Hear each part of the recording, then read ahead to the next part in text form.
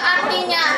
Dan janganlah kamu mengikuti apa yang kamu tidak mempunyai pengetahuan tentangnya. Sesungguhnya pendengaran penglihatan semuanya akan diminta pertanggungjawabannya. Untuk mencapai kebahagiaan akhirat juga harus mempunyai ilmu. Mengapa demikian? Ada yang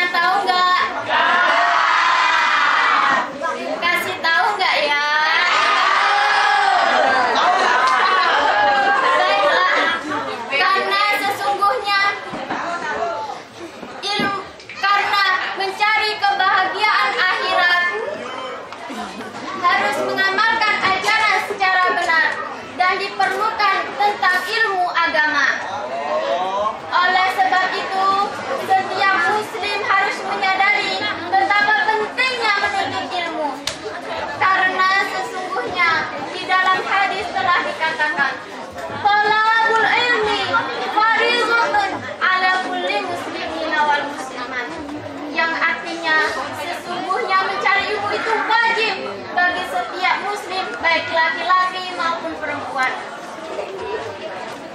Orang yang memiliki ilmu itu diibaratkan seperti pohon padi.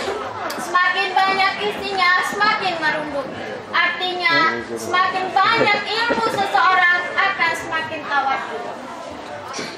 Demikianlah pidato yang dapat saya sampaikan. Semoga bermanfaat bagi kalian semua. Saya